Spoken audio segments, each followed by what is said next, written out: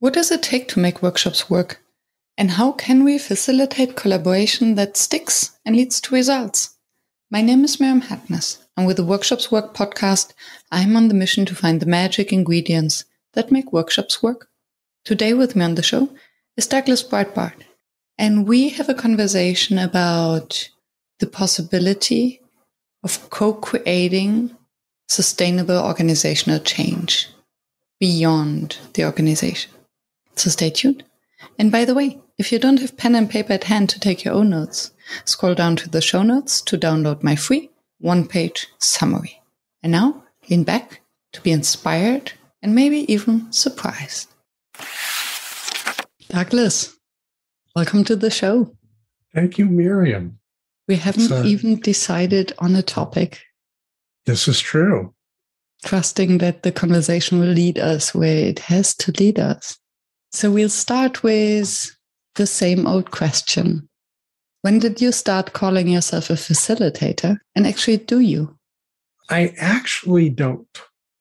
like 90% of my podcast guests. like, is that true? Like most yes, of? I think so. Um, yeah, I've actually like spent no small amount of time with a colleague of mine drilling into like the power of certain terms. Usually comes up within the leadership meme, but I have this belief or superstition that a lot of people are culturally set up, imprinted, trained habituated to somebody with some attribution of authority on appearance like the minute that person is named and or designated that there's an instantaneous autonomic complete reconfiguration of the person sitting facing that person and they shift into i'm no longer driving some of it conscious, a lot of it not. But I'm no longer driving and I am no longer responsible. Whew, thank God. And I now can wait for instruction. And is this a bad thing? And let me explain what I mean by that. Sure. I think if we're getting a group or an individual to land in the space and trust enough to give up the responsibility of driving or leading and can just be and bring in the best version of themselves to the space, isn't this a good thing or an aspirable thing? So let me unpack because in the question, there's actually like several moving parts. And for me, unpacking them is really important because there's a key ingredient that the question is whether that ingredient is needed or not. Like, could you choose to just not invite that to the party? So I'm hugely, you know, devoted to inviting people into the space sort of uh, as a space holder, but also as a creator. And doing that in a way so that there's safety and there's openness and there's invitation and that that's actually like the best part like mm-hmm. that's mm-hmm. regardless of what the it is regardless of what the agenda or the learning or the training whatever what happens like if because if somebody can be in that state then they're in feeling. And if they're in feeling and connection, they're in learning. Like that's where the learning happens. And, or at least the biggest learning can happen. And once somebody undergoes that sort of autonomic shift into you lead, I'm following, there are whole systems that are sort of switched off. Mm-hmm. They're like taken offline almost.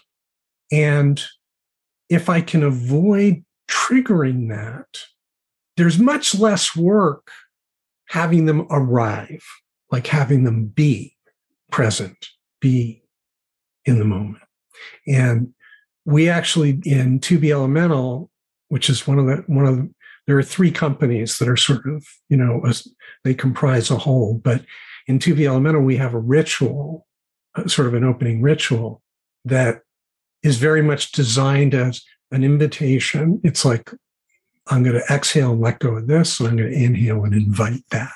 And by the end, it is we in unison, we are present in emergence breathing here, like clear. And that's not led. You know, the person who's reading the prompts isn't characterized as a leader or titled or there's no attachment of role at all. So the unpacking is if I have the title, it's usually a small stone's throw for, and I am responsible mm. in a results oriented way or in a delivery oriented, performance oriented way, or a dozen different things that are act, energetically active in that. And it also, there's a vesting in the result. There's an attachment to the result. So that's putting me in a position where a certain percentage of my being 100% present and receiving is actually diverted to that, which is internal and about me and has nothing to do with the people I'm in service to. right? For the people that have switched and go, okay, tell me where to go and what to do and how and whatever, that's also like comfort zone in the working world out there.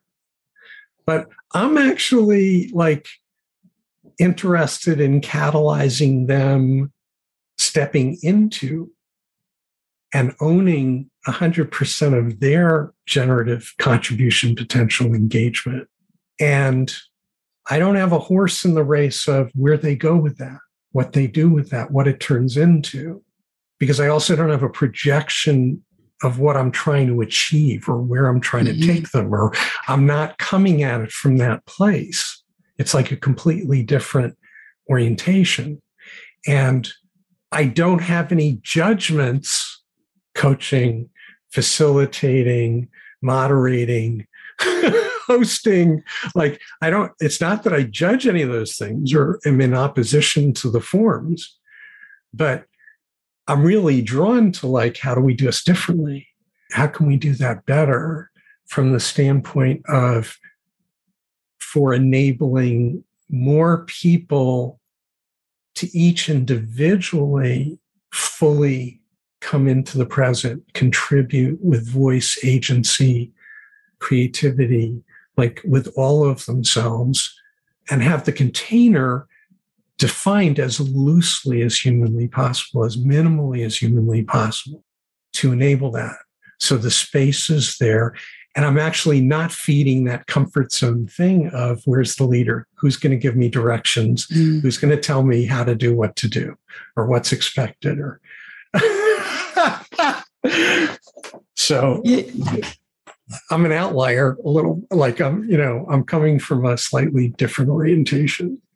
Well, I I hear the some basic concepts and I like responsibility, like attachment, like neutrality.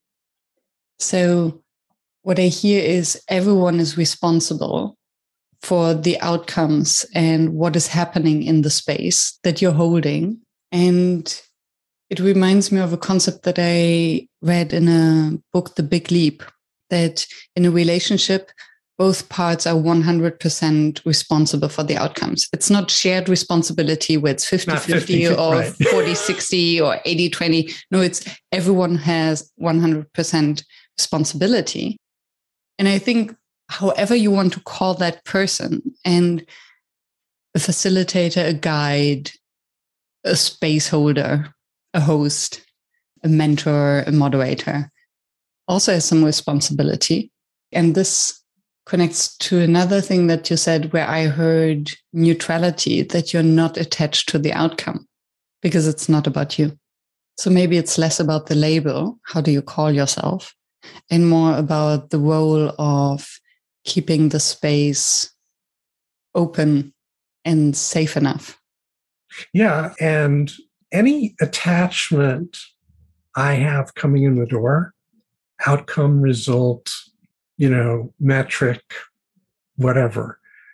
But any attachment I walk in with is a cut down and constraint and limitation on what's possible. So, how do you deal with situations where you're invited into the space to do your magic? let's not call it facilitation, let's call it magic. And the person who's inviting you has some idea of a tangible outcome. It might be an outcome, it might be an output, but there is an expectation. Understood. By definition. And then you sense into the space, and maybe those who are in the space and after what you're describing, I almost don't want to call them participants, but contributors, co creators. Co creators. absolutely. They might have a different intention, need, or desire. To whom of the two would you be loyal to? It's an and and both. And I would suggest that's the difference. That's the difference that there's client, there's agenda, train, or transformation, or this or that, or whatever. There's a participant group or target group of whatever who are going to be on the receiving end of whatever. Like that's the traditional starting place. That's the frame. My orientational shift is an and, which says whatever your goal is, your agenda, your output or, or attachment, let's really drill down and make sure we're both clear on how you want that to affect or be energized by these people leaving the room after. And when you ask those questions, all of a sudden, the stated goal and agenda for this is the training and this is what the da, da, da, expands a bit. Because it's one thing to stand up there in 1800 style and just dump. And it's another thing to engage in a learning journey where the people walk out not just having assimilated information or knowledge, but have actually connected with and internalized what value that's serving, what contribution that's making, what its intended effect is on an experiential and lived basis in whatever the working context is. So it's a leveling up of, you, you know, you want to go through the motions, but everybody walks out and it's like, thank God that one's over and I can get back to work until the next one. because none of these things ever really affect or change my responsibilities and deliverables to my the person I report to and blah blah blah blah blah.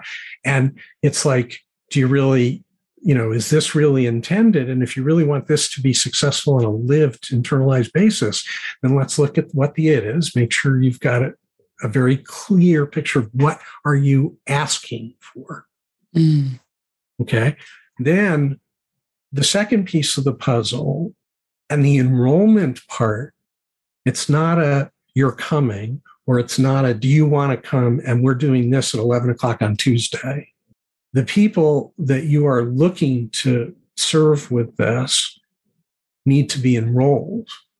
And that enrollment actually starts with the design of when, where, how you design the invitation, how you design the language you use, the articulation you use, how you set up the signaling to increase the chances of getting attention, driving action, and inquiry so that they're already engaged before they've walked in the room.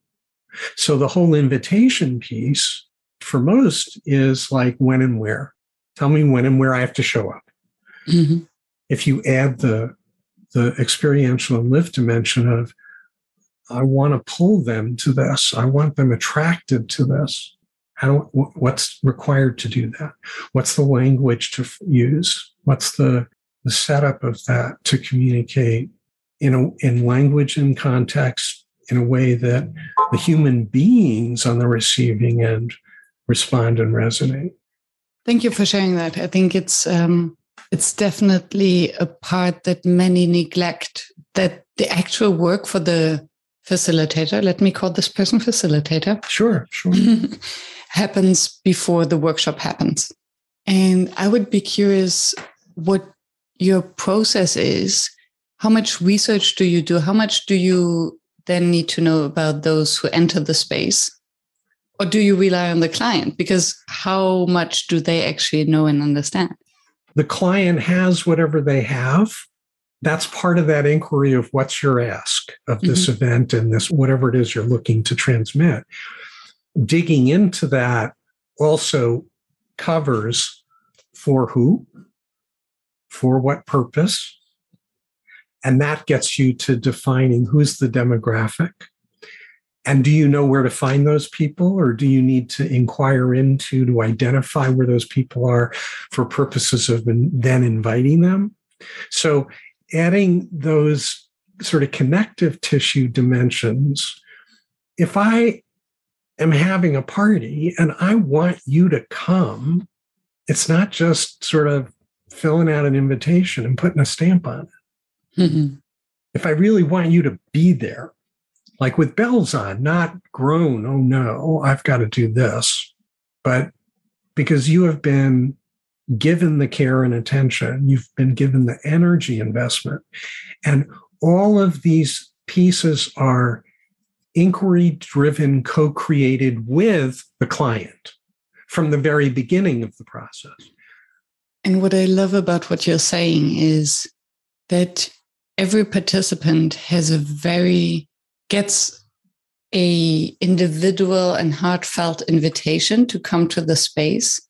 And hence this cancels out everything that is related to participants are not engaged.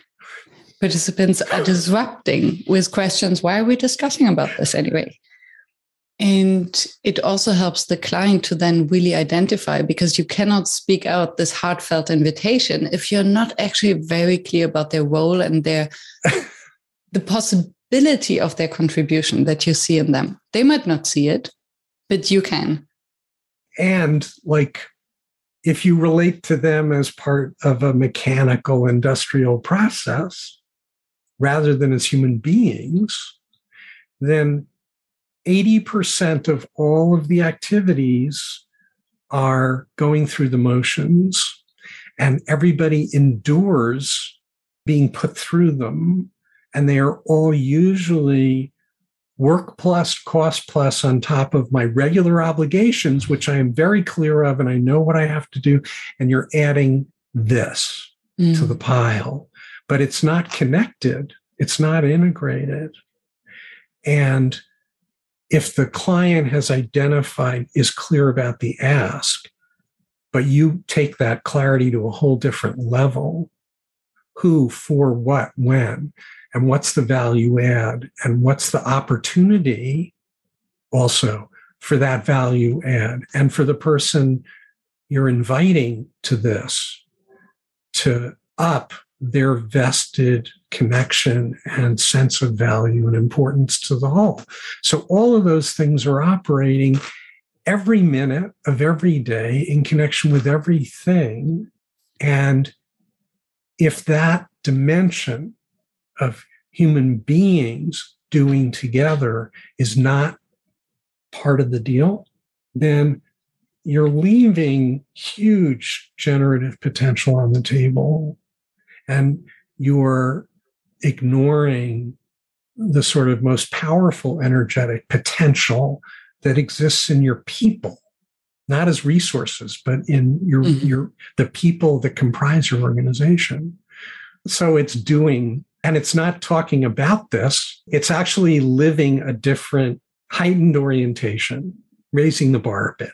Yes and this leads me to another question which is maybe a little bit of a hen and an egg problem. Okay. From what I hear, is that you're actually expecting a quite high level of maturity from the clients because the reality that I see and sense is usually we need a workshop because we have this problem, this change process, this decision that has been made. And now we are running late. So we need to get the people onto the room in order to usually push something. Absolutely. Absolutely.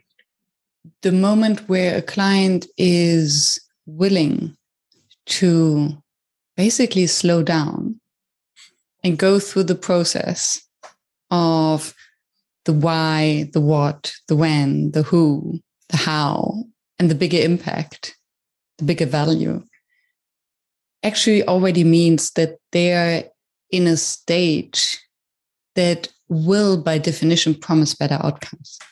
It's self fulfilling. And I do think that it's also for us facilitators, it's a kind of responsibility to then turn these clients down if they haven't gone through this process and if they want to push too fast and too quick and treat their people as resources? Well, that's sort of an individual choice. I don't have any projections or judgments about that, right? But I've said to a, you know, co-head of HR, you know, 220,000 global employees, you know, you asked about, and this was a particular context. So the person said, and we were talking to them about a whole a whole other engagement. And person says, "Do you guys do cognitive diversity?" That was a you know one of those new shiny things that popped up and hit the radar, right? Do you do cognitive diversity? And I said to him, and it was in an email, and I said, "We it sort of requires a little conversation." and he responded immediately. And so we get in this, we get in a call, and I said to him, "So here's why I'm putting you through like this time instead of just responding yes or no." Now, if your question is, where can I go get me some cognitive diversity? Because my boss on the golf course this last weekend was told about it by his friend, the CEO of his compa- you know, his compa- and like, you know, they're getting it, so we need to get it we're not your people. And if that's the marching orders, here's the name of the person who's the top thought leader in cognitive diversity as a noun. And here's the top, you know, consulting firm that provides cognitive diversity as a commodity. How did he reply? He said, No, we're we're not this is like genuine. And I said, Well, then yeah, we can absolutely go there but it's actually a, a much deeper well and dive. And it would start with having a conversation and unpacking and drilling down into all of the moving parts and dimensions of what cognitive diversity as a living verb oriented thing is means you know what what makes it up and starting from there and then co-evaluating creating designing the version that melds all of that meat and potatoes with your particular context, company, case, people, circumstance. And I know I and mine are not the right tool people for the commodity version. Like we're not in the selling things business. we're in the, you know, affecting transformative and evolutionary living change and and growth and and enrichment. So that's a very different bar. And what does it take then to really create the space where transformation, the real change can happen? Because change and transformation are very often just labels. Sure. And they go into a bureaucratic nightmare with change process and let's be honest nobody likes change that is put upon us right we yeah. all love change that we decide for ourselves that's the change we love well i you know rule number one is that true transformation has to be created whole cloth by the people that are going to be embodying it, manifesting it, bringing it every morning. Like if they're not part of the build and the design, if they're not part of the response to the question of what it's responding to from a need standpoint, then they're not vested and there isn't a basis to expect contribution to and maintenance of the energy and the commitment and the orientation to upholding it, to being in alignment with whatever the new is. And 85, 90% of these initiatives don't work and don't sustain and don't happen because they always start from a root of projection, power, control, authority over, and position. Even though they can, there's a lot of verbiage today that makes it sound like it's not that, but it's that. It's like, you know, greenwashing stuff. You scratch the surface and it's like, you know, planting 50,000 acres of fast growth pine or palm is not reforestation. It's the lumber industry painted with a green brush. Like, no.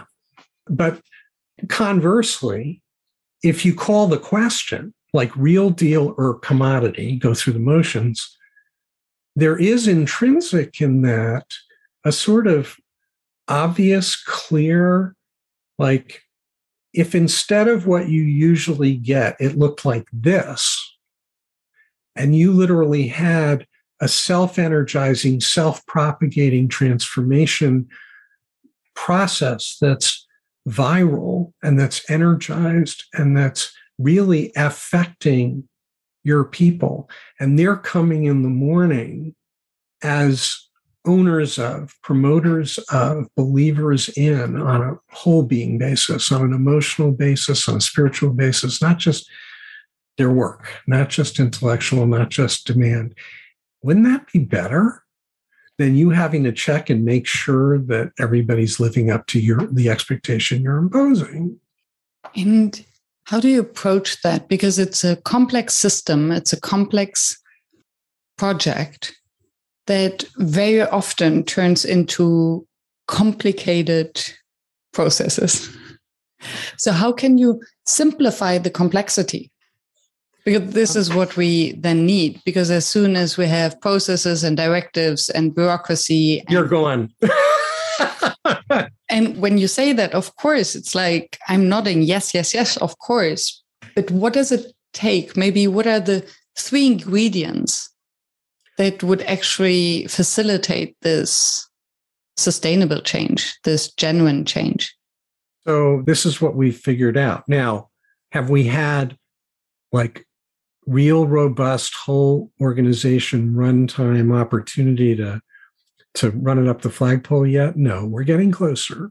And companies are converging with recognizing the need and or being open to because of the fear that they're experiencing with a world that's just falling apart and no roadmaps. So C suites today are not fun places. And the more terrified they are, through my lens, the more in fear they are, which is feeling, the more open and in learning they potentially are. And this is the moment to get the nose in the tent to really try walking on the wild side. But the, the, the truth is, the actual transformative energy and phenomena starts with the negotiate the selling into and negotiation of the terms of the of the retainer of our services. And what would be the check boxes or the red flags? So the check boxes are that in the course of going through, you know, long sales, our target is really big companies. We have small ones and we know the moving parts work, the we're really going after the big ones because if you can transform one of them, the ability to really affect transformative change quickly on a global basis, like they're the most powerful potentials. So, in the process of selling into, to use old paradigm language, it's an enrollment process and it's a calling the question. So, working up to the decision maker and then starting with the decision maker, the terms are we're going to catalyze a transformation program, process, whatever we are not coming with one. So we're not selling things. We don't have a black box. We don't have a branded anything. We don't have card decks. We don't have forms. We don't have, you know, it's not a pill. We're not, we have no magic pills. However, that program will be co-created and developed by your people using your pre-existing internal resources 100% so that's the first frame and constraint so this isn't about buying things, big capital expense. It's also not about an army of us. Like if you need more of us to catalyze and hold space and and shepherd, then you know we'll train your internal people to become that. But it's all on you, baby. It's like this is this is an internal, completely internal agenda. So that's number one. Number two, the initial team that will be charged with infecting the organ, will catalyzing the organization in this process, which is we see it as a viral thing, infecting it. Mm-hmm. That team is going to be voluntary and drawn from all of the moving parts of the of the company, and they need to be given written contractual security in their job, in their job progression in terms of benefits, accrual of benefits and seniority and all of that stuff. They they have to be 100% secure if they volunteer that they are not in jeopardy and lose nothing that their volunteering would be taking away from them in the security of knowing what their current track and position and department is. So you're creating a shield of security for them so that they can dare safety. to challenge and that's in writing. And that's in mm. writing. Brilliant. that's in writing. Mm-hmm. okay. So there's the safety piece. That doesn't mean that group isn't going to have to go through forming storming and norming. All part of it. But they're secure to do that to jump off that cliff. So that's one piece. The other piece is this initiative has to carry the weight of the C suite prioritization and importance. So whenever they need whatever they need, they get it. Remember, we're constrained to internal resources, but if they need something from from IT, they're going to get. If they need something from HR, they're going to get. If they need something from sales, they're going to get whatever they need. They get with priority. So that means in this process of hiring us, the buyer needs to identify the key senior executives over the key moving machinery parts of the min and back office for us to establish that and confirm with those people that they're on board. They need to be enrolled, not told. So that's transformation. They've never had that experience before. They get a memo that says, this person asked for something, you're going to give them priority within this budget range and this budget everything's projective. No. They need to understand this is a blank check being given to an as yet unidentified, undesignated group of people internal to the company. And we have no idea what they're going to ask for specifically. But if they ask for it and need it, you're going to figure out how to make that happen. Uncertainty, the biggest enemy of a leadership team. Boom. Bam. Right? Mm-hmm. So there's a formalization of that process that they actually get to be enrolled, but they also get to co create the machinery and mechanism for dealing with this as something else. We haven't even gotten to the point of being hired yet. I wonder why. Right? So it's not a silver bullet kind of magic stick where you come in like, with an army of people and transform. This is, this is doing it. And then the third piece is that the team, once enrolled, reports to nobody. Their only accountability is internal to each other. It requires a level of trust to, and it's my um, behavioral science um, background just jumps in. It requires a trust in the organization that they actually do have the resources and everything it needs it requires trust into that team that basically they provided this safety security shield, as you described, and had then a blanco check not to report to anyone but to themselves. And what it reminds me of, I'm provoking, is the experiment that has been repeated several times about with the prisoners and the guards, where random people were assigned to be either prisoners or guards. And although everyone knew that these prisoners didn't commit any criminal action, the guards were abusing their power the moment they Absolutely. put into the position of it. And just the probability, the slightest doubt that human beings are driven by self motivation, intrinsic belief, or hope for the best possible outcome for the organization, that's a big ask to a leadership team. Well, for the leadership team, the ask is actually for them to let go of their addiction to authority, power, control. It's saying to them, you're not driving this. This is sourced, and the, the fire energy for this transformation initiative is from the people that are charged with responsibility for it. You are not controlling it. And if it goes wrong, it's their head that is rolling. Well, yes and no. Like, what's the downside risk, really? Now, on the other side, the, the experiment that you pointed to, and this is distinction on the case, the point of that experiment was it is the poster child for everything that's wrong with the paradigm of power and control and authority over.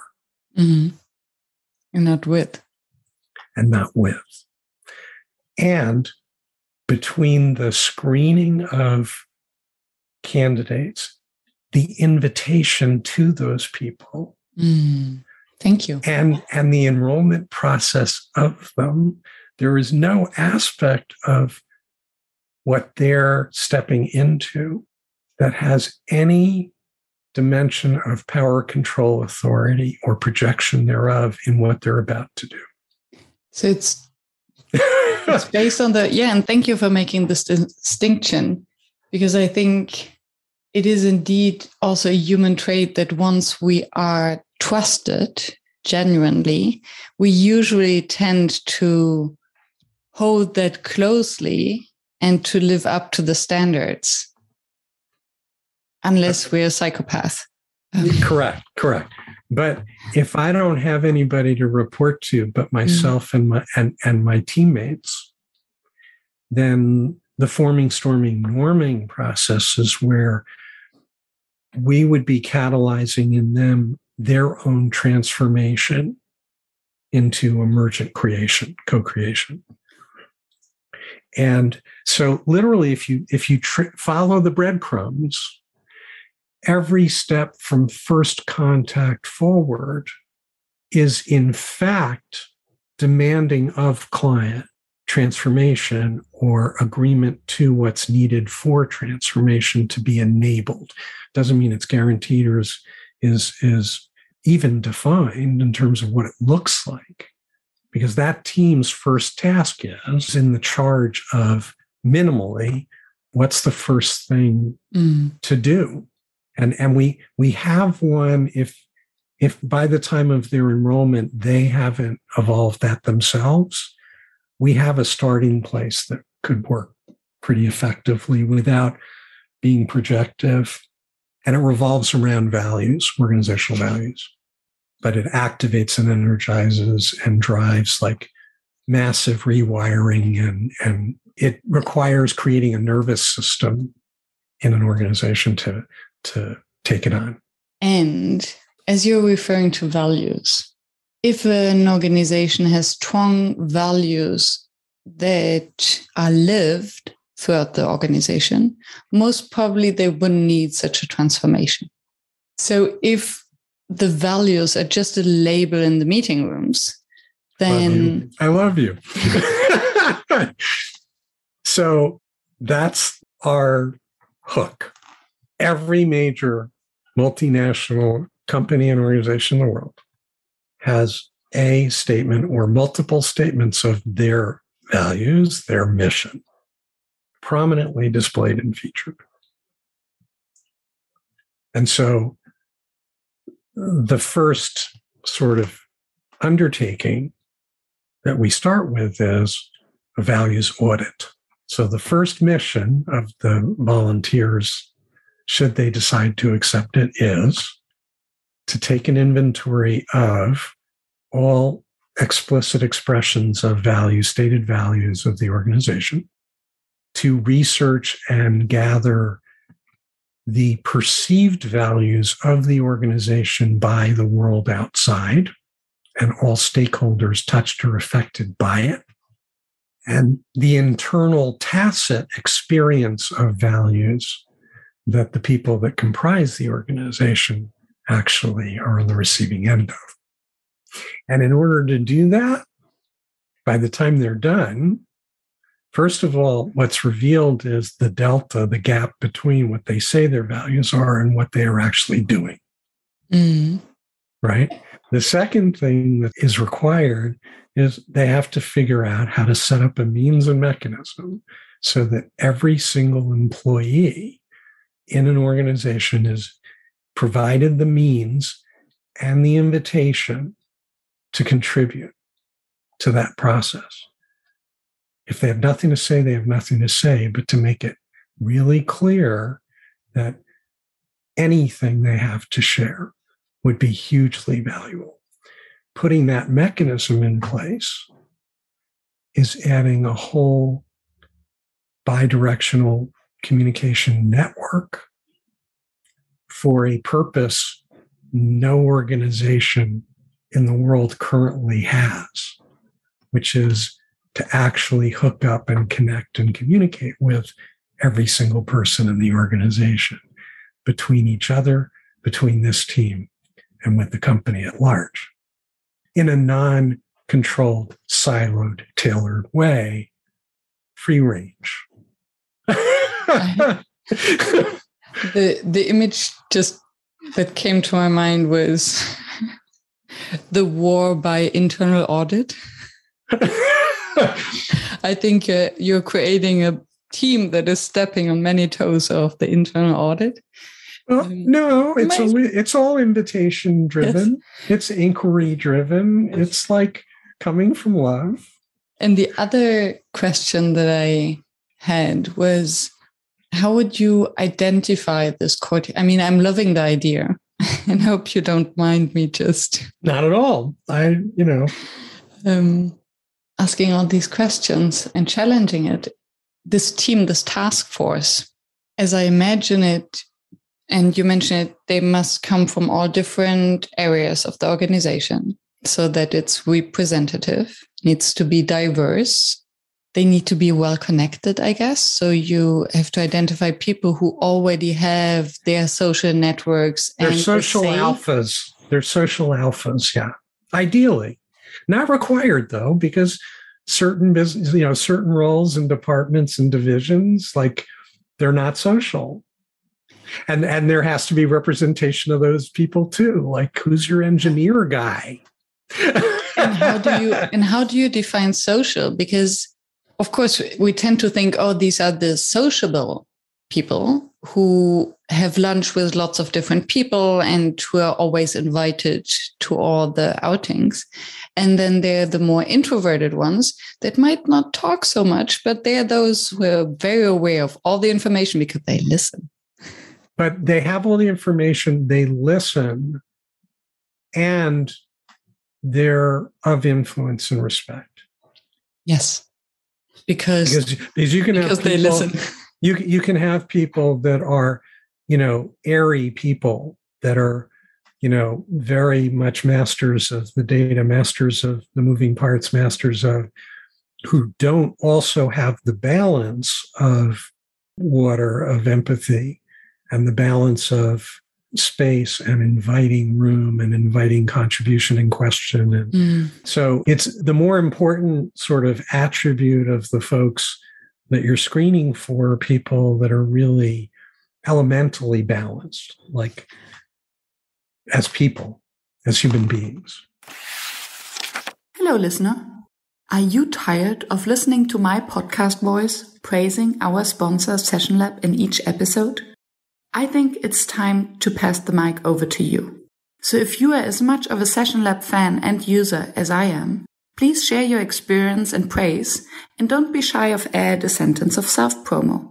Send me your soundbite and you might hear yourself on the next show and find your name and URL in the show notes. I'm looking forward to hearing from you.